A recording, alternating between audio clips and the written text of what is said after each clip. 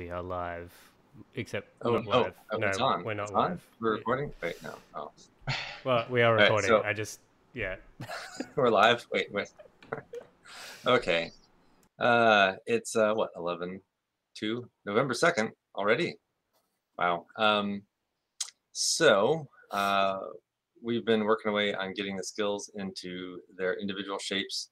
Um, and we're starting to think about uh, the skill interaction stuff. Um, and along the way, we've noticed that our Wi-Fi setup process, uh, which we've known for a while, is is a little uh, buggy. Um, wasn't wasn't really finished, but we thought it was good enough. Uh, turns out it's not good enough. So we're going to take a step back and uh, and make that actually work properly. So that's kind of where I see see us uh, overall right now. Uh, in the meantime, um, I believe we've started to solicit uh, feedback from the community about at least some elements of the skill interaction um, uh, thoughts that we're uh, we're having, and uh, so I'm looking forward to that. Um, well, actually, I've already seen some of the feedback on uh, Derek's videos, so that's good. Um, and uh, we will, I think, we'll keep producing videos like that in terms of you know uh, setting expectations for what uh, how we want the system to work. Um, there's also some additional uh, uh, documentation that we're working on. I don't know uh, where we are in the process of sharing that with the community, um, but uh, we've got some some ideas about how to um, start to add a little bit more formality to the message bus messages and the things that are happening within the system, so that it's a little bit more uh, easy to monitor uh, and keep track of what's going on. Yeah, I want to add the example that we went over in Hawaii to that document just to have something to kind of Sure. like how it works, and then we'll probably be able to pass it on to the community.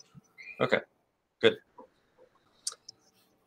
Um yeah so and just in terms of like uh high level where where are we i think uh, i think that's it um and uh so, so why don't you guys take it away in terms of uh individual statuses uh oops chris go ahead I'm the only one not muted, so yeah, sure. Um, today uh, was a, was a bit of everything. Um, I had an interview with the candidate.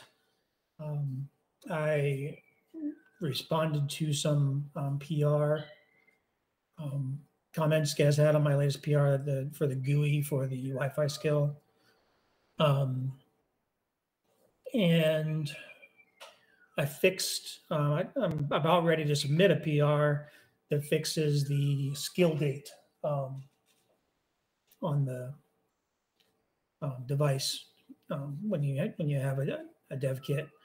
Um, my new methodology is I found out that the Mycroft skills repo is actually checked out on the device. MSM uses it. Um, not checked out, cloned on the device um, I found where it is, and I'm using uh, Git logs to find the most recent commit on that on that um, repository, and get the timeout for that, and then that's the time it's going to go on the device. So okay that'll be great that'll be at least deterministic yes, everything it should be the same for everybody this way.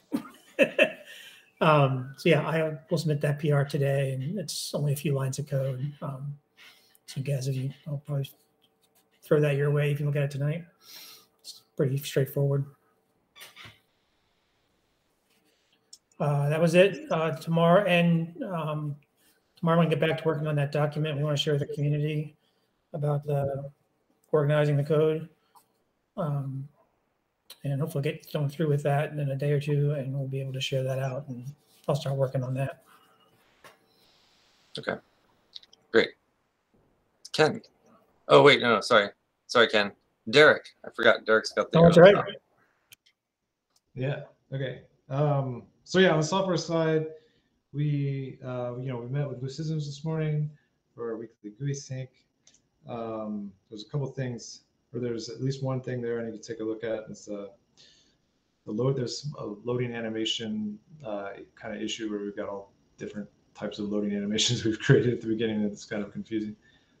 So I was going to create the ideal um, you know what we'd like to see and see if they can help us get that sorted out. Um, let's see. I did do. Uh, I, I had an issue where weather does not seem to be working on my device, so I, I logged a bug on that. Um, it's not, not on the home screen, and it's uh, does not. Um, no intents pick up weather. It just goes straight to Wikipedia and gives you the definition of weather. So something's going on there. Um, the um, the other thing that I saw and um, a couple things in Jira that I, I need to do, I would uh, like to split out the mute functionality, I think, into its own ticket. I think Michael suggested maybe doing that uh, for the home screen. Um, just so that we can, you know, it's got a couple things I'd like to do with it. Uh, you know, I'd like, you know, for example, the LEDs to show something as well as on the screen. Um, but we've talked about this new edge, you know, both uh, Chris mentioned this too, the, the, new edge illumination concept being um, a good consistent way to, to show that as well. So I think there's just enough there that we could just maybe split it off to its own ticket. Yeah, that, that makes perfect sense. Uh, just read a note that we're changing the scope of, you know, a, a comment in that ticket where yeah. you're, you know, signing off on splitting the mute functionality into a new new task. And then, of course, there's the big Wi-Fi process uh, that I actually have just read. I haven't really done any work on it yet, but I know that's that's uh, going to take some some thinking um, in terms of the UI, the GUI side. Um, but yeah, mostly today is still kind of working on hardware stuff, um, kind of unpacking. We had a meeting at Aztec last night, and so kind of unpacking um, some stuff from that meeting and, and starting to plan. Did I miss something on the Wi-Fi skill? Um, Why are we changing the UI design? Well, these would be things that we're we would need to add based on our conversation uh, at the summit. So things like oh, okay, that... what what happens when connectivity is lost? What happens oh, okay. when um, you know things like that? Like so, this would be new stuff. Okay, that makes more sense. Thank you. Yeah, yeah, you've got everything in there that was currently defined. So. So yeah, a lot, a lot of hardware stuff today, but that's been good. We've been getting some plans laid out for that. All right, cool. All right, uh, Ken.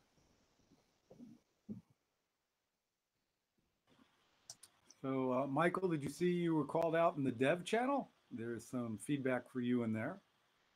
Uh, let's see oh, let's check it out. Yeah. Um, so I was working on the um, NTP stuff and I was in the enclosure. I was actually moving the enclosure up so that it comes up right after the bus. Uh, but there's really no way to synchronize that because there's services right now. Uh, but anyway, um, I tried to change the date and realized that you can't change the date or time on the Mark II. I suspect it's container permission issues, so I've reached out to Pantacor on that. Um, trying to switch networks from our container using the dbus, I realized uh, I'm going to have to replicate the whole access point stuff. So I've been working on figuring out how to, I mean, I, it's pretty easy to get the access point up and everything, but uh, figuring out how to get the login profile set up so it spits out HTML when you hit it within a, without any authentication and that kind of stuff. So that's where I was at. And then that was like the first half of the day. And then. Yeah. All right. So who hasn't done status yet? Vera? I went first. You went first. That's right. Um, so we're all done. Oh, yes. No, guess. I did a hell of a lot of yeah. translation stuff. So apologies to everyone's inboxes. Um, uh, courtesy of goldyfruit, um, who um, does some excellent Docker um, images of, of Mycroft. Um, he did. Uh, he was doing some benchmarking of the the OVOS precise lite plugin against you know precise you know standard, um, and you know as you'd expect, it's it's significantly lower resource. So I um, asked him to do the same for for the for the Mycroft one, um, which you know he didn't know about because we haven't really told many people about it. Um, uh, and what became apparent there is that yeah, as I said in the chat, like we're we're starting off at like you know super low, like eight percent CPU usage, but it's just like slowly creeping up over the course of the first 30, 40 minutes, um, and which makes sense as to why the the service eventually just crashes because it's you know eating too much stuff and can't handle it. So there's something in there that's um, you know some reinforcement loop that's um, out of hand uh, that we need to find and and nix. Uh, so yes, um, we can either do that or we can, um, which seems like it still seems like a better approach uh, to to only run the TF Lite runtime um, as Ken you know uh, did all the work on on doing that um, rather than you know the the Ovos way is to have like the, the precise traditional method of having the, the, the separate runner and, and everything. Um, so this should theoretically be, be even leaner, but um, we've got to wait and see. Yeah, so we've got a memory or a process leak or something like that. Yeah. Yeah. Okay. Yeah, I suspect a memory leak. I'll, I'll get to that one. Get this bring up stuff squared away. Um, other than that, just lots of lots of things. Uh, yeah, um, I am trying to to use the new PR processing project board, public project board, and, and push that out to to um, some of the community channels to to let people have a look at that. Um, uh, we have a lot of outstanding PRs in Mycroft, so we you know it's it's no small feat to like uh, try and get that backlog down. Um, but yeah, the hope is that this will, um, particularly for things that are like current and ready to actually merge, that they won't slip through the cracks and disappear. Um, that will kind of keep on top of the, the front of the queue and and clearing that out, you know, reduces noise and hopefully that aids processing of the remainder of the queue as well. You know. Yeah, um, we'll take. Yeah, we, we need to keep on top of that. This is kind of a new process for us, so um, definitely want to get better at uh, setting the expectations with the community about you know what we're working on, what our priorities are, um, you know, and and uh, where we're looking for help, and you know, Yeah. and where we're not looking for help, frankly, you know there's there's uh, I think that you know the the plug-in process that was started a few years ago I think is something that we definitely want to continue to build on and um, and I think that you know uh, we want to move in a direction where um, you know a lot of the things I think that you know uh, some of our community members want to contribute um, maybe don't belong in core right maybe they belong in a plugin and Mm. you know if the architecture doesn't support the right kind of plugin for those things then um, then that's what I would rather work on rather than try to build more functionality into core that's not necessarily, uh, you know, if it's not necessarily where that should go. Yeah. So, in my opinion, core is already, you know, kind of a nightmare. Um, and, uh, you know, we've, we've, we've had plans for, you know, a year and a half to, uh, to untangle some of that mess. Um, but we just, frankly, have, we just barely, you know, uh,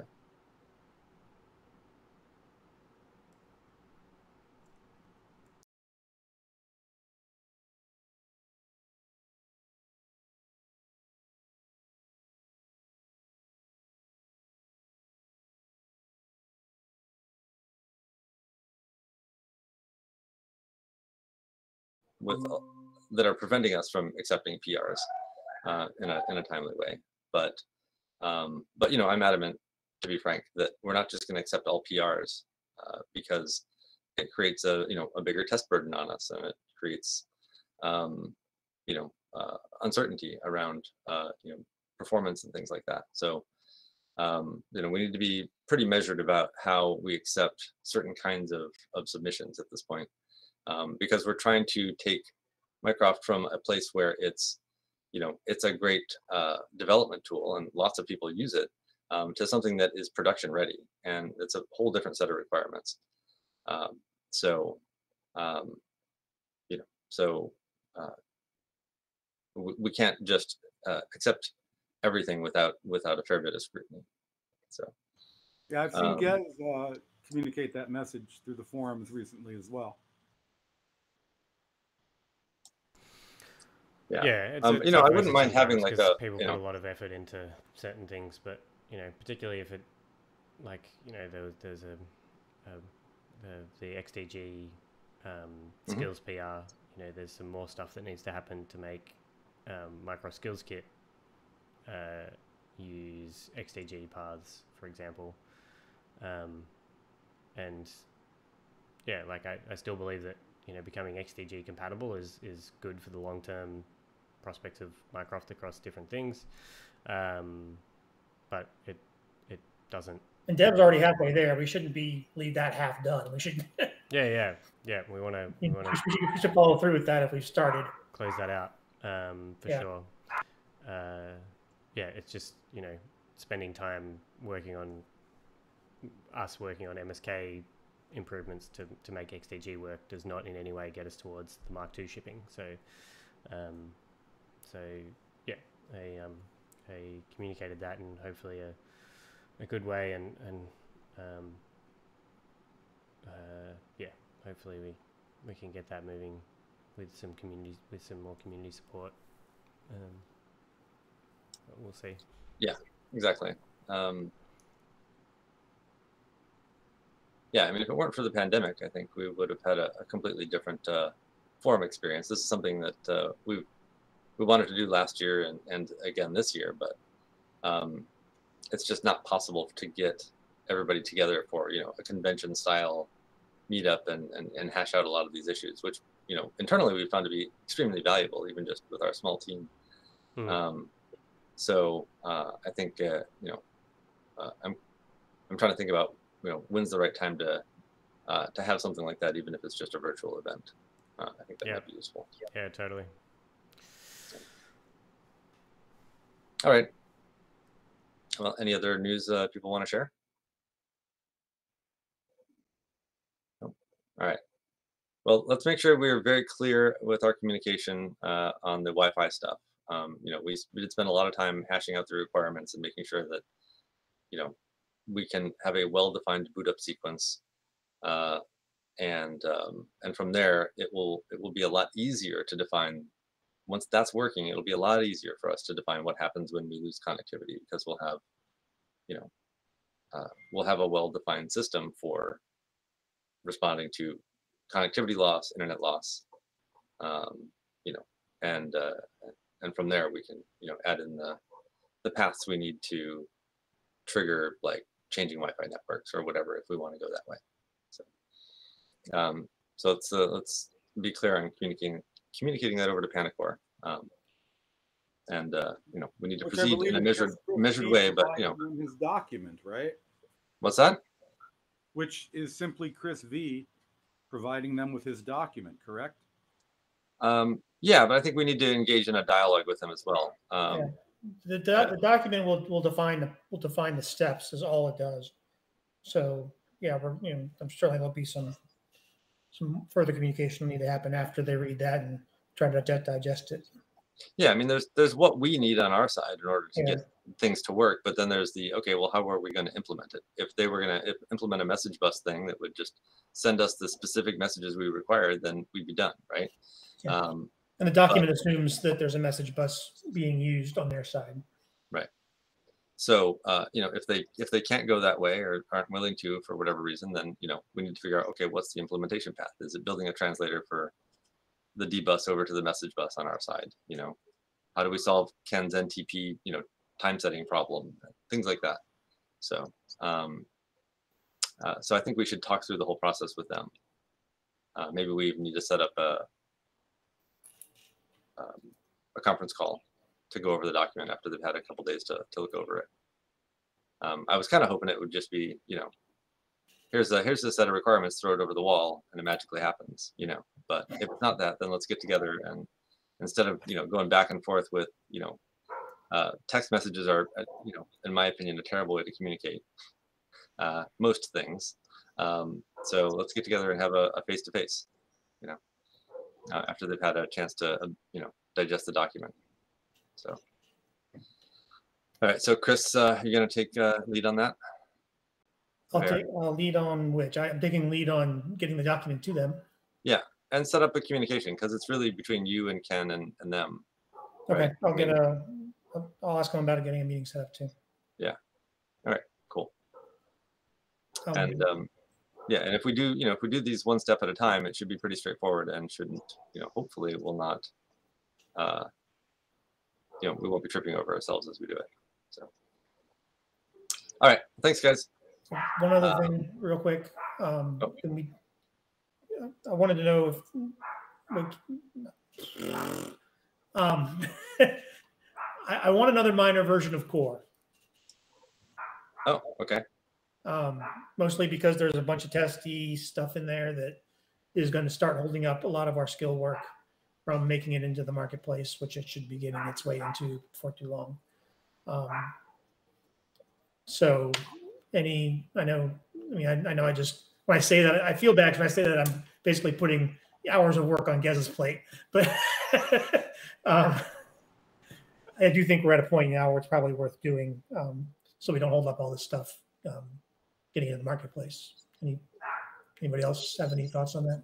Well, my my thought is if you have specific things that are being held up, you know, that need to get out to the Mark twos, then absolutely we should do that. Um, but you know, I, I don't think we should do it just because maybe sometime in the future it'll be useful. You know, so I'm not sure where exactly you're at. It will, it, like it is, you know, because the to get things in the marketplace, they need to pass all the all the testing, um, and so because these test steps aren't available in in production Mycroft, then they won't pass, and therefore they, you know, if we put them in the marketplace, then everything will just fail forevermore. So, um, uh, yeah, I think I think it is a good thing to do. Um, is there anything else, particularly VK wise, that we're thinking will be like that we have on the cards? Because if there is anything else, we should try and get that in before we cut the release. I haven't touched VK since our we finished our skill sprint, so I'm, Yeah. I'm, I don't have anything outstanding. Everything, uh, yeah. There's nothing else that's glaringly breaking or anything, or you know, in need. Not that I can think of, but I I also think we'll have you know we'll have a major revision here soon, and so we should just go. Yeah, I, I think if, if something else comes up, maybe we just you know draw a line in the sand and say Yeah. that's Alright. when the major revision comes out. Cool. Okay. So new new minor release imminent then. Yep. There'll, there'll be more stuff in there than just this VK stuff because there have been things committed to dev, but um, Oh yeah, for sure. Yeah. Um, I might Okay. do. I might get the Mark IIs updated to prop twenty one dot two dot one proper before we do that. Um, so we can all test it. yeah, and so that way we can we can um, get back to at least you know pegging the the stable releases. Um, uh, but yeah, I'll add a ticket to cut a new minor release.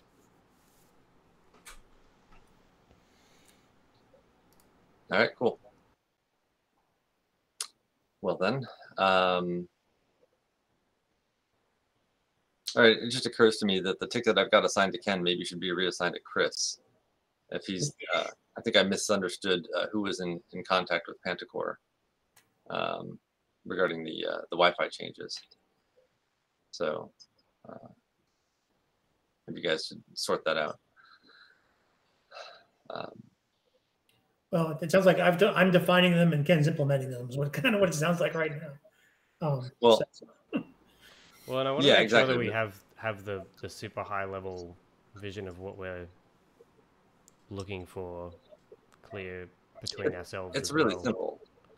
I mean, the, the high level vision is very simple. We we have a well defined signal that does not report that the internet is available until the internet has actually been reached and the time has been synchronized using NTP. Yeah. That's it.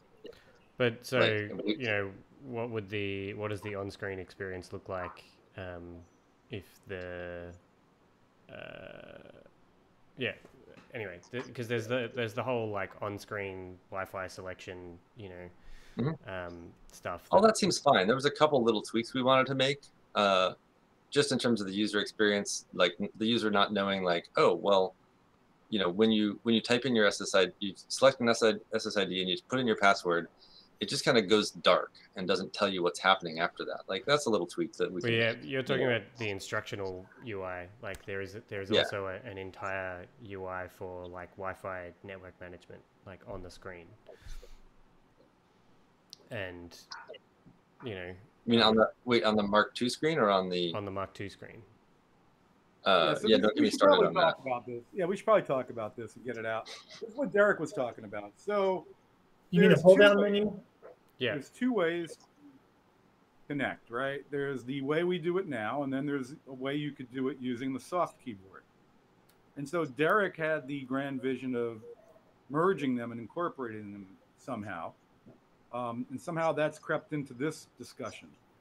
But that's not. No, no, that's, not, part of this discussion. should Well, be, that's that's right. what I'm saying is like No, I that is not part of the discussion as far as I'm okay, I'm aware. Correct. So Alright. that's I agree. With you. Right. So then, if that's not part of the discussion, what are we discussing? What we're discussing is the ability to recover from network failures. That's step two. Step step one. Is to be able to know where we are in our network establishment process, so we can order our boot sequence the way we want. Right. Then step two, deal with connectivity loss. Yeah. In other words, recovery from fatal Yes. errors. Whatever. Right. Correct. So that that's it from a high level. There's step one and step two. That's what we're trying to accomplish. Step three, profit. So Um, all right.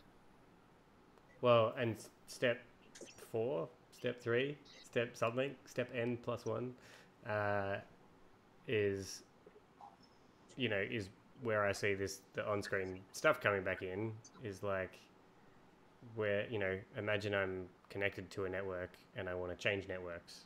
Like, you know, what do I do? Do I? That's that's part of that's that will be handled as part of the uh, I lost my internet connection. That's that's defined in the same ticket. Mm, feels The user- different.